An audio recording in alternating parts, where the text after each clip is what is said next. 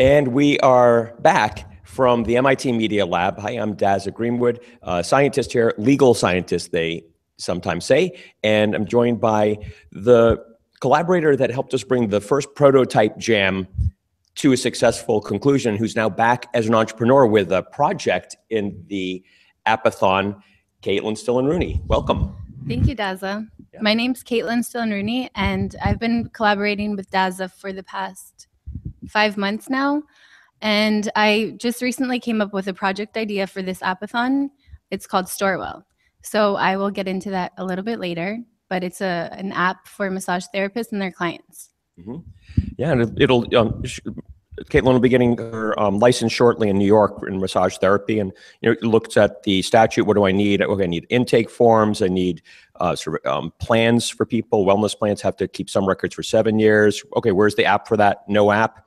Good entrepreneur building it now. Um, and I'll tell you what, a lot of it's personal data from your phone, from your watch, telemetry. Where does it go?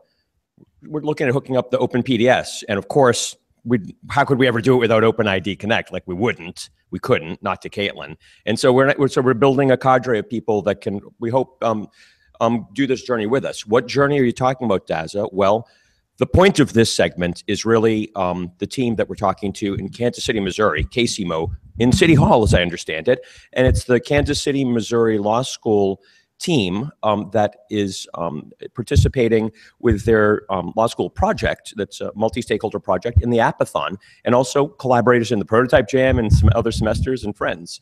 And so um, evan could, could you just start us off and talk to us about this project that we want to highlight having to do with openid connect and cities um, what a great concept can you introduce the people there and um, just get us started um, for the spotlight on openid connect in municipal context project Sure, sure. So uh, I'm Evan Absher. I'm a UMK law, UMKC law student in my third year, and I'm also um, an employee currently for the city of Kansas City, um, and I work on policy. Um, and I'll introduce Paul, or Paul can introduce himself. Hi, I'm Paul Barham, and I'm the captain of the Code Brigade, Code for America Brigade here in Kansas City. Hi, Captain. That's great. We love Code for America around here. Hosted the Code Across event, and you know about 300 people, um, thanks to the Boston Brigade. And um, good to have you on board, Cap.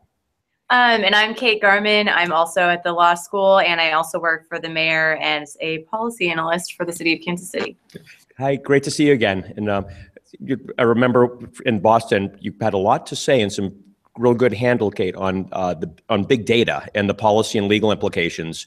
And you know, it lurks just below, below the surface, but fundamentally, um, those analytics questions and big data questions come down to small data questions, personal data questions that may be addressed through the methods and the mechanisms um, that are being applied right here in your in this project on OpenID Connect, and the intersection of that and a public sector entity might be what's missing is finding that right fit for uh, for that. So, can you talk to us a little bit more about what is this project? What are you fixing to do? And um, then let's let's dive in. Well, uh, the the the project, the hope is to build an understanding of how we uh, can have an open ID Connect uh, architecture protocol for a municipality to be an identity provider. So, you know, all those legal principles, the data understanding that we're that we're gaining every day legally, that um, you know, data is more analogous to property, that it's a substantive right in and of itself, that privacy is incomplete when you're talking about uh, data as part of privacy data needs to be standalone sort of um, substantive rights. So how do we facilitate that understanding? How do we facilitate Dr. Pentland's, um, you know, data bill of rights and the White House's uh, consumer data bill of rights and uh, and an actual policy service uh, function? Um, and so we thought, well, instead of Google providing your identity through as an IDP, whose interests may not align perfectly with the users, uh, municipalities' interest um, aligned far far more with an individual's uh, interest than say a private entity. So what if the municipality provided the identity? Well, that became interesting because then we saw that um, trust federations that were already built legally and, and in real life could then be just kind of overhauled into the uh, OAuth 2 and the um, OpenID Connect protocols. So um, what we're hoping to do, and I'll let Paul speak real fast here, uh, is um, in the prototype jam. We're hoping to come up with a demo. Paul, do you want to say something real fast? Uh, yes, just real quickly, we have some uh, code that we are going to take and actually kind of expose all of the data that's being transferred between all the parties during this electronic exchange. So our first step is really just allowing people to learn what data really is in the context of OpenID Connect. And we hope then to take a next step and create our own IDP and show what, if we had our own IDP, what sort of data we could add to it. And then hopefully in the future, we could put some sort of federation behind it. Fantastic. Um, that I can't tell you how long, how many years or decades I've been waiting to hear these words from this composition of people. Um, you're, you know, you've got a business perspective, a business case for using an identity as a service. You've got really good representation from on the legal side, and there's Paul who just hacked the code. Um, like I, I saw him do it rendered as much help as I could, but he did it. Like he hacked the code that um, that allows for OpenID Connect identity providers to log into a WordPress site. In that case, PHP. Um, and um, that's a, um, a widget that's been needing some, some good hacking, and it, it has not worked um, very easily up to now. And so it's been a public service already, just what you've done to get ready to start, in a sense. And um, uh, did, did Paul have to, to leave us already? Mhm. Okay, thought so. Um, so I, I don't know if you heard any of that, but if he, can he still hear me? No, he's Thank not. Paul. Okay, well, he'll hear the echo of our digital footprint here um, in YouTube land. And um, this is the right composition of um, talent and the right time to make a dent in this. So let's talk about um, your project in more detail. Um, first of all, in the context of the Appathon, and then let's, why don't we start to look um, kind of zoom out and look ahead um, to this prototype jam number two you have coming up um, at UMKC Law School, um, and then maybe the road ahead. So, um, what do you, what will happen? What's happening right now? I guess like so, you've got a project right now. Can you describe what is a project? What do you have, and what do you not yet have? And um, and what are you looking to do next? And what might what do you hope that will show? So I think what we um, have is uh, we've we've kind of created a central space for collaboration in GitHub, and thank you, Daza, for um, you know uh, kind of forcing that on us. But um, I think what we're doing is we're gathering the team is gathering a better understanding of all the different sort of players and roles and, and getting a real granular detail of sort of the theoretical architecture, which is great, and all the different options um, and what each sort of um, player does and the unique presence of each player in this architecture, um, which is really helpful uh, because we're then recording that kind of gathering and understanding in a place where the next class over the summer can take that and build off of that understanding. So that's a great place. We're also um, we're building understanding in institutions that we're a part of, which is huge because uh, although Kansas City is very innovative and they want and and the and the culture is desirable, uh, we lack a lot of um, sort of information that let's say Boston would have. Right, we don't have the access Boston has to MIT and Harvard. So for us, the um, we have a willing spirit, but we need a, we need to come up to speed at a, at a greater rate because we kind of lack the sort of base context and understanding. So we're building that in both UMKC Law. Um, with the legal profession generally at Kansas City, Missouri, and at the Kauffman. It, you know, all of those institutions are, are kind of learning along with us. Um, and then what we need is we need to understand um, the technical the technical requirements of kind of building this pro this this architecture um, because I don't think we really comprehend what this requires on a technical level. I, Paul does, I think Paul does, but but his ability to communicate it to me is limited because uh, when he starts speaking that language, I can't keep up with him. So I think what we need to do is we need to demonstrate to the stakeholders in the community the basic fundamental aspects of this architecture in a, in a demonstrable way where they can see it on their computer uh, so that they get it. Because when I speak about it or write about it in the written form, it goes right over their heads. But if we can demonstrate it to them through, you know, kind of basic web pages and server logs and things like that, then they can kind of get a grasp of what we're talking about. Um, So that's I think where we're at right now, Kate. Well, I was going to add, um, Ashley Hand, Kansas City Chief Innovation Officer, Mhm. just spoke in front of the business session to the mayor and to full Kansas City City Council. And she has informed them of our partnership and told them what, what projects we're working on. She specifically talked about Open ID Connect and Mhm. the fact that we're doing a prototype jam. So this goes to inform both the legal community and the city. I mean, everyone is kind of on the same course of information Yeah. and trajectory of implementation. And I will tell you, and and this is in my capacity now as the city policy person in the mayor's office. Um, we, I I'll help, put a new hat on too. Yeah, I, we, there you go. I drafted privacy principles for the city. I helped Ashley draft them. Um, because we are We entering in. Ashley. I'm sorry, I have to interrupt you. Like, he's got such a fan base in Boston. I was talking to Bill Oates the other day, who's CIO in with Chris and Nigel in, uh, in Boston, and now he's in the state. And I mentioned I was going out there soon, and he said, "Will you be seeing Ashley?" And we had a it's like like, so it's so great to just hear that that's who you're working with, and um, you know what an innovative um, leader, a thought leader in the United States. So. Forgive the interruption, but go on. You, you drafted the privacy principles. That's obviously relevant. Go on. Right. We're drafting privacy principles, and and um, they're taken from the um, privacy principles from the White House's piece of legislation that's out there, and we kind of uh, reconfigure them a, a little bit to um, kind of fit our needs a little bit better. But they're essentially the White House's principles, and uh, And so that by that you're probably talking about FIPS, Fair Information Practice Principles, and you're probably talking about the sort of somewhat like the little twist on it that came out recently in their draft Right. um, Consumer Privacy Bill of Rights bill, I think, right? yes, yes, Okay.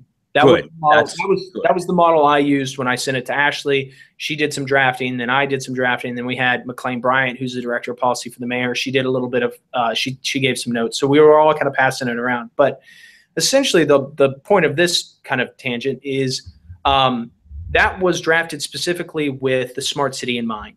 That we know that this is going to increase data access, data utility, um, and people are nervous about it, and rightfully so. The city's nervous about it. We we we want to ensure that people have notice and choice when it comes to their data, and so we've drafted these privacy principles, but we don't have anything substantive to really carry them out to to Right. enforce them.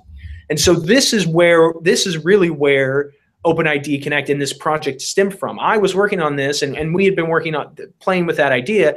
This privacy principle project came up. I drafted that and I said, wait a second, we need like a personal data store or UMA or things like that to really give it the due process, right? We have we have an idea of judicial and court and case-based due process, but what if we could kind of preempt all that long, arduous process by giving them uh, the consumers a sort of lightweight tool that's relatively easy, timely, and provides notice, choice, and control.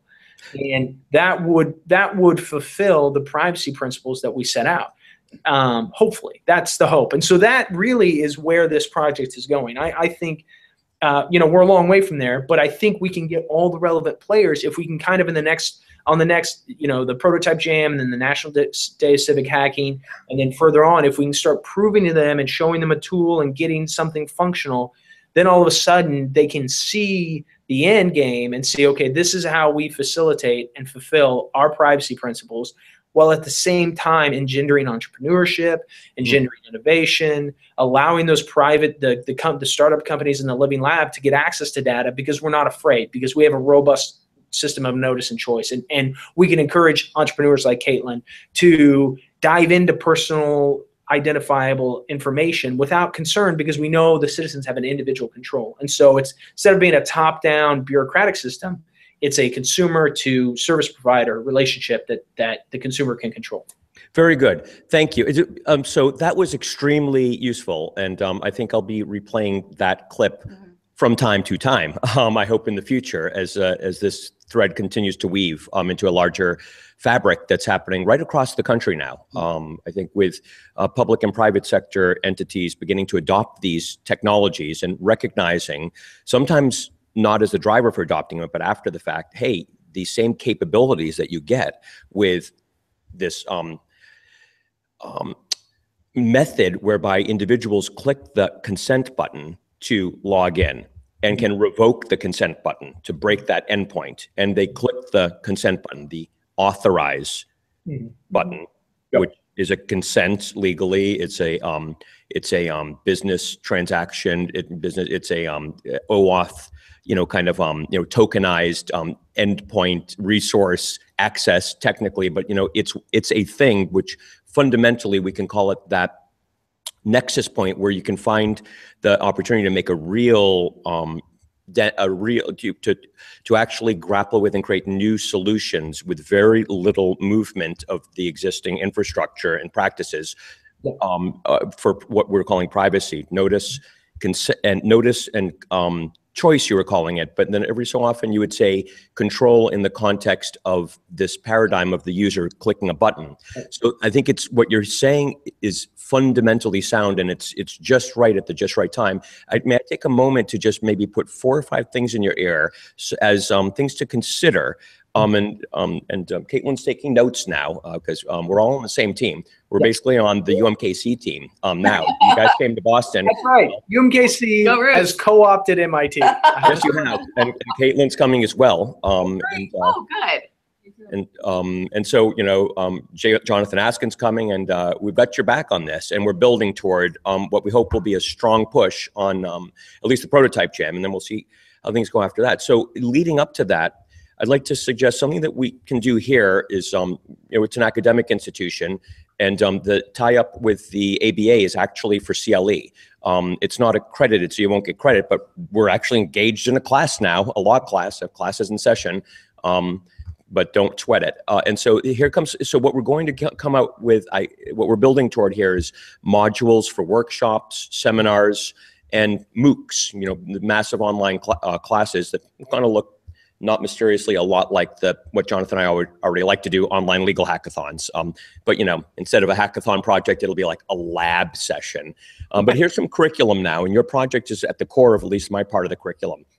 Number one, um, let's take a look at an industry thing that I haven't mentioned before, partly because I didn't want to distract you, but you've done such a good job absorbing um, what I have shown you. I think you're. This is the next thing. Um, if you can see it, this is called idfederation.org. And um, it is the finest example of, of a large um, cross-boundary community dealing with use of federated identity um, that I'm aware of and, and, and adopting the business legal technical operating rules um, approach that, that you're studying right now. Um, and so can you, I don't know if you can see this, but um, it, this is, a, in this case, it's um, insurance and financial services industry. Yeah. And their major problem was brokers and agents, you know, some of them had, you know, 10, 60 passwords they, across the different um, um, you know companies that they would work with if they had to write a policy or do some wealth management. And then even in a in a single company like Hartford or uh, Liberty Mutual there could be many different systems with passwords. And they didn't want to compete on passwords. They wanted to actually streamline and simplify that. And this is a good technology for that. They needed to agree on rules. And finally um, after trying a few other um, methods, um, we, we ended up um, talking about the BLT method, and they really embraced it um, more so than any other constituency has to date. And so this is how it looks for them, and something to keep an eye on. It might not look so different for others, although this is this is industry, public-private would be different. There's some sort of group. This is a board of directors here that has to promulgate rules when you do finally have them you know, if it was a big consortium or a bunch of utilities, you know, it might look like a National Conference of Utility Commissioners or something, Right. or it could look any which way, or it could be public-private.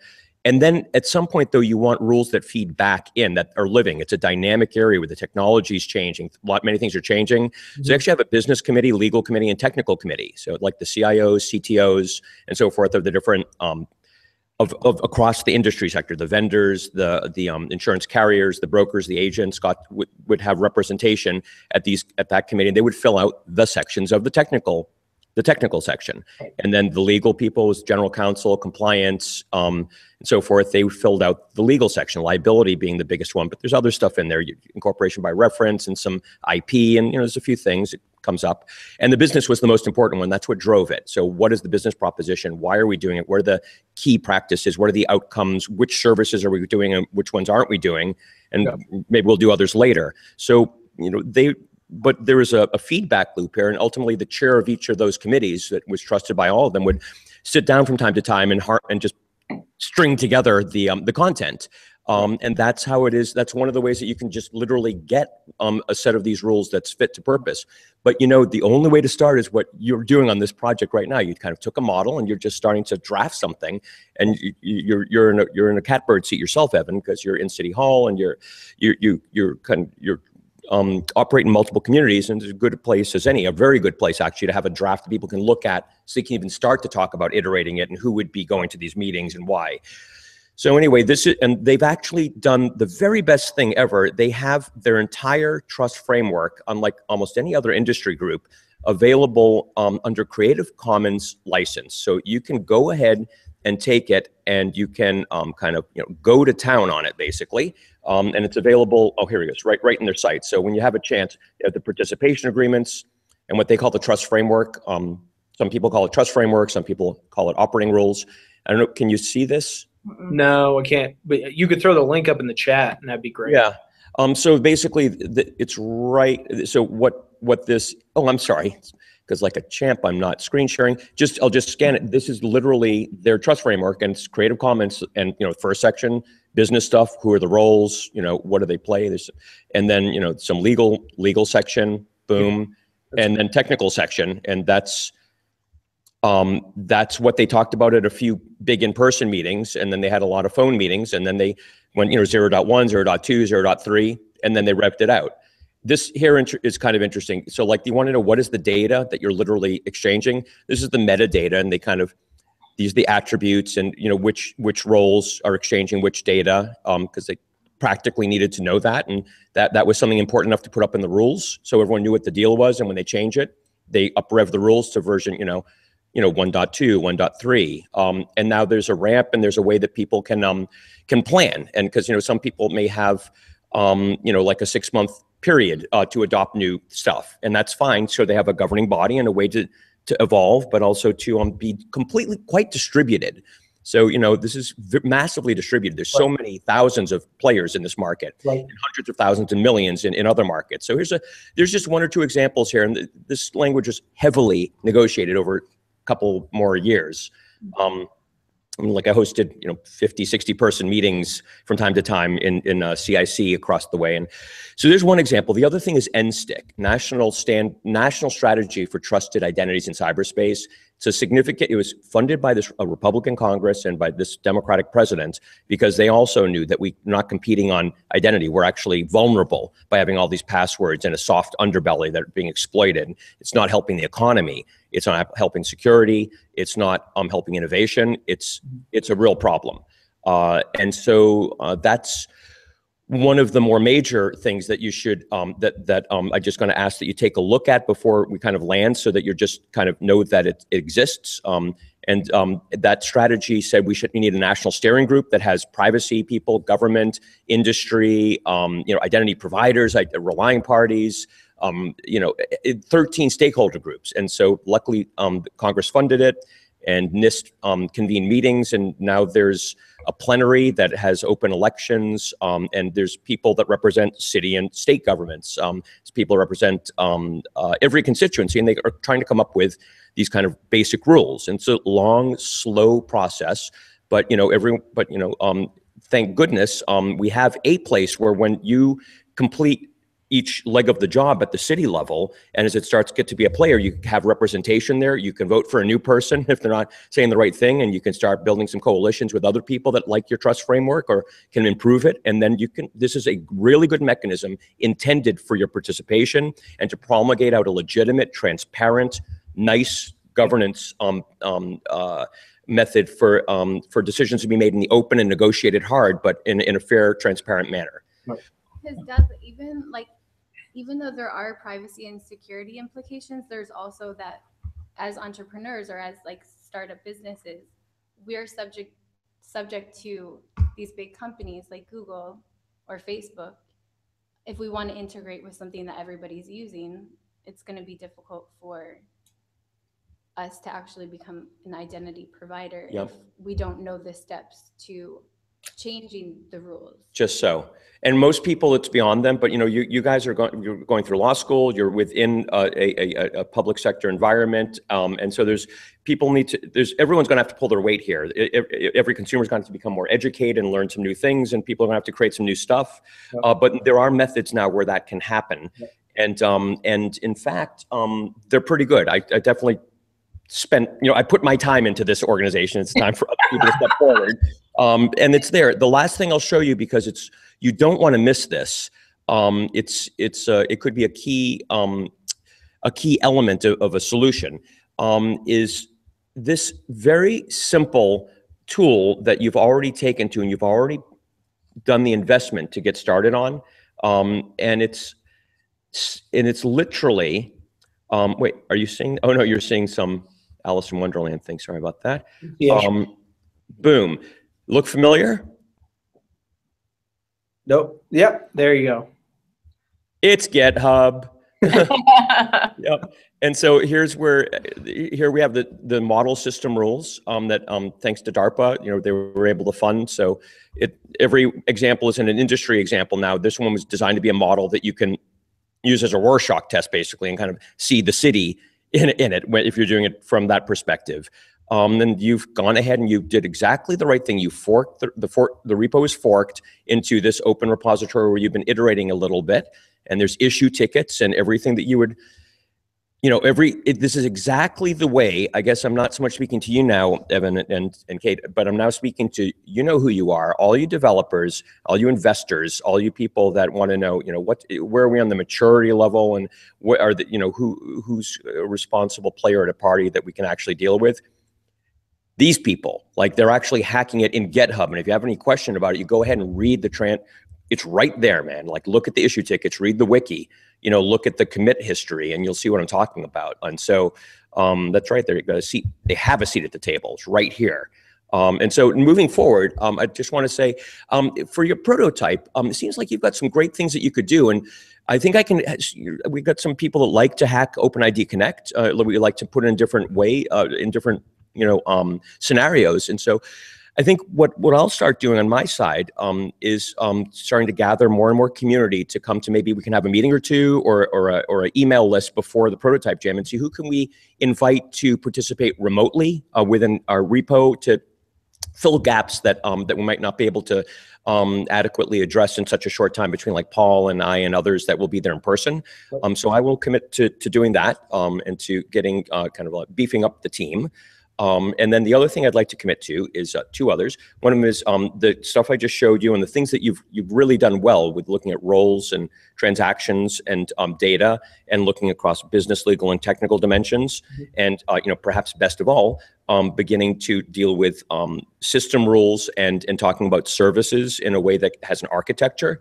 Um, I can um, I'll come with a loaf of bread under my arm to um, to UMKC and try to give something back to to Professor Luppino and to um, Michael Robak and to Dean Suning, who have been so generous uh, with, with with my um, I, I, sort of like a wild card hacker here in the media lab now. I've gone wild or I've gone like feral more or less uh, since we've been practicing law, and they've just been terrific in terms of having proper curriculum and proper procedures, and, you know, and an education that has real integrity. And so um, they're stepping up the game now. I will bring that early curriculum there, and we'll do our best to begin to through law.mit.edu build out, you know, um, uh, something that can um, support and reflect what's happening in in the law, and with our friends at the ABA now and CLEs. And finally. Uh, I think there's a, some projects coming down the road in uh, in fall. A series of workshops with some cities. Seattle has expressed real interest. Um, of course, you know, um, Ashley helped with a, a show and tell to uh, in your city. Uh, Boston and Raphael um, were real leaders in the first prototype jam. Um, Caitlin helped them work out all the use cases and the data flows uh, for um, OpenID Connect integration um, and their Salesforce um, actually um, as, a, as an RP, um, which is what their portal was for small businesses. Yeah. Yeah.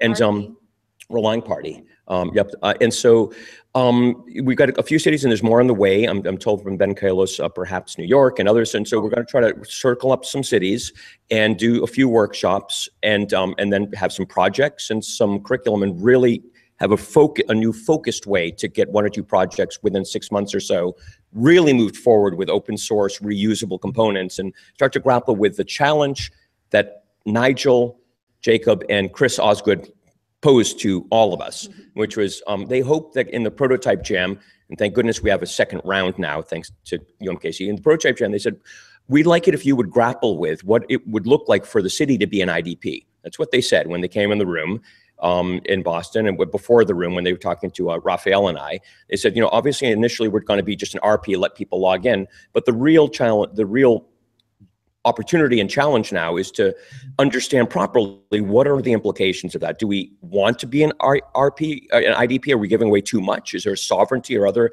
key issues? Do we want to never be an IDP? Is it sort of like that's the sort of thing that we would, you know, like we don't run trucking companies either. Is it that sort of properly the role of others? And what are the implications? How do how do we evaluate that? They want to know a rubric. Right. And so I think that's partly what what we're aiming to do. Those three things, and um, we would be delighted to continue in partnership with you. So That'd be great. thanks for explaining the project and um, and just say what can people do to learn more if they want to kind of learn more about where you're up to or what might they search or uh, where would they look GitHub.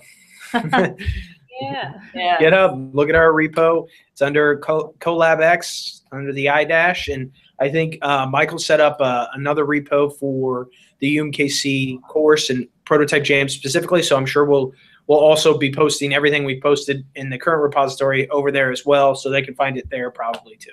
Great. The, everything in this one's an open uh, mit open source license and so i encourage if it's helpful i hope it is helpful uh, Yep. that michael and or one of you fork this repo right in and also fork the human dynamics repo in with all the system rules and the other assets. And then hopefully as you start building stuff out we would then fork that here and then we'd start seeing where people were putting the most work in and then kind of um, push data to the people that are really carrying certain repos and then hope to get pull, pulling data in where others are carrying. And to the extent that we have multiple people you know doing the same thing that's actually not so bad. Um, that's how we got openid to start with in fact. So i am delighted to hear that umkc's got the github organization and people can go to github if they'd like to learn more. So with that um, uh, you know, Caitlin, um, you know, we look forward to seeing your um, your business start also in a GitHub repository, and um, she has a project. Little quick pitch. She's gonna um, need some help as she, corporation, trademark, even the rules by which she would be accepting personal data into a personal data store and making it available for people. And so Jonathan Askin, thank goodness, a proper law professor um, in New York, the state in which um, Caitlin will incorporate, has agreed to make it a BLIP clinic class. But some of these issues are too big for a state. Right. Um, you- and the, the system rules, things that you're grappling with, not a single one person in New York, uh, in, in BLIP or any law school I'm familiar with is, it knows what you just know now from have, how much you grappled with it. Right. So your, the expertise you're developing will be very, very helpful for Mhm. very, for the Yeah. next generation of entrepreneurs. Yeah, and that's the hope and that really is the hope is that we create such a, a user-friendly interface that entrepreneurs can you know they want to set up Caitlin wants to set up a massage therapy business in new york she can interact and interface with that persona and it's easy and it's uh inter and it interoperates with everything else she does and it's, it's and and it's not a pain like it is now quite honestly so Yeah. that's a hope That's great. I'm really excited for you guys. Right. Um, it's been a pleasure working with Dazza, but also with you. I know how hard you guys are working over there, and I'm looking forward to seeing you in a few weeks. yeah we look forward to seeing you guys Like a few week. weeks A get, week. Get One your week. barbecue ready. Yeah. Your, your appetite, your barbecue appetite ready. Yeah. Because We're hungry. it's, Yeah, remember Rick Usher kind of, he opened up a whole new world of barbecue sauce. so, um, Great. so All right. thanks again. Great to see you again. Thank Bye. you. Bye. Bye, guys. See you.